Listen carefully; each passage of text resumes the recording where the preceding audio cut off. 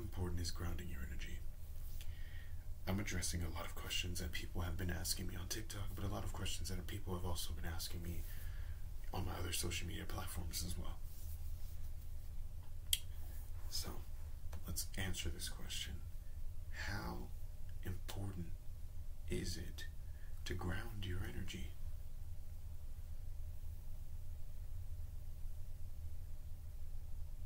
And what happens when you don't ground your experience, when I didn't ground, I became very irritable. I would also become extremely spacey. I would zone out a lot. And I would find myself easily distracted by everything. Find myself just not able to stick to one thing. I end up moving from one place to another so quickly when it comes to having to just do something. I get a little overly active if I'm not grounded. I get extremely antsy and I get a lot of anxiety. Another thing that happens to me is I tend to fall and trip over literally everything.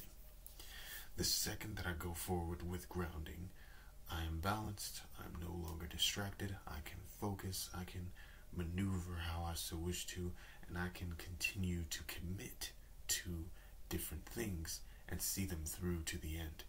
It's very important to me because, as I've said, I have a problem with committing to projects and seeing them through to the end when I am not focused, when I am just distracted, when I have too much that's going on. Grounding my energy brings me back to center and gives me the ability to plan things out and take it step by step. Whereas if I'm not, then I'm rushing into things. It's extremely beneficial to you as well, you know, as practitioners to ground because it will bring you back to that focal point within yourself give you that strength to let go of all of that energy that you really don't need. It's a rewiring of your energy bodies when you do it. Connecting to the earth and recentering yourself is one of the most beautiful and beneficial things that you can do in a daily practice.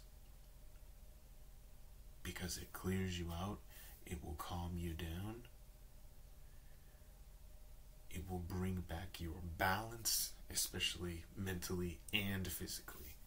Because seriously, there's some people like myself who lose their balance when they are ungrounded, and I will fall over things, as I've said. I've tripped and fell on the stairs, you know, I've fallen over absolutely nothing in my house. I was really annoyed, extremely, you know, extremely extremely fast and it, it, it hinders me. It hinders me seriously because it doesn't allow me to get things done that I need to get done.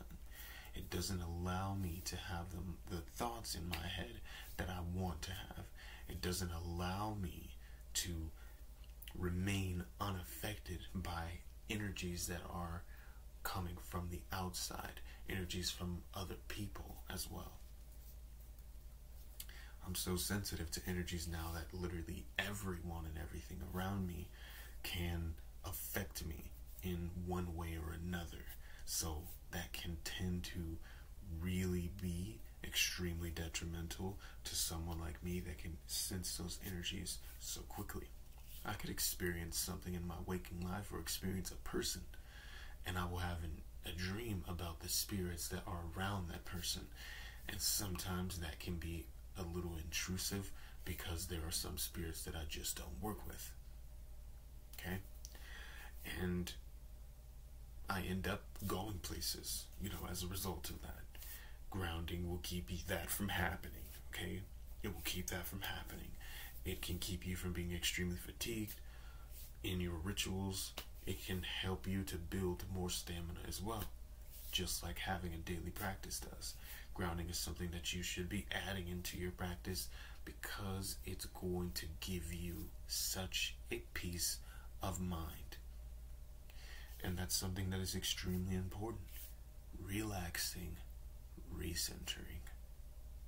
It makes all the difference when you get up the next day after you've done that, or you get up 20 minutes after you've finished your grounding, you know, and finished just relaxing, having a bath, and letting go. You feel so different, so clear, so ready to take on the day, so ready to take on whatever tasks you may have. Don't be afraid to ground, and don't listen to people that tell you that grounding is not important. It is one of the essentials, one of the basics, and it can change your life if you actually let it. Thanks, guys.